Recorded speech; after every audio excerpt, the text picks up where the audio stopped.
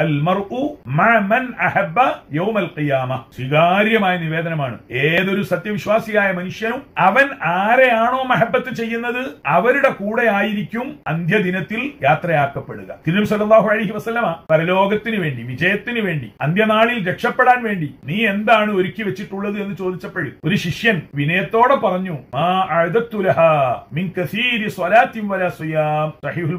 ഉൾപ്പെടെയുള്ള സ്വീകാര്യമായ എല്ലാ ഹദീസ് ഗ്രന്ഥങ്ങളിലും ഉള്ളതാ പരലോക വിജയത്തിന് വേണ്ടി താങ്കൾ എന്താണ് ഒരുക്കി വെച്ചത് എന്നതിനുള്ള ചോദ്യത്തിന്റെ മറുപടി ഏറെ കൂടുതൽ നമസ്കാരങ്ങളോ നോമ്പോ ഒന്നും ഞാൻ ഒരുക്കി വെച്ചിട്ടില്ല. എന്റെ ആകെ സമ്പാദ്യം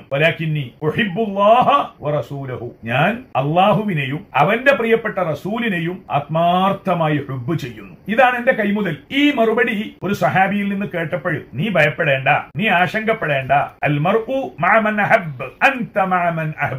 നീ ആരെയാണോ മഹബത്ത് ചെയ്യുന്നത്? അവരുടെ കൂടെയാണ് പരലോകത്ത് വരിക.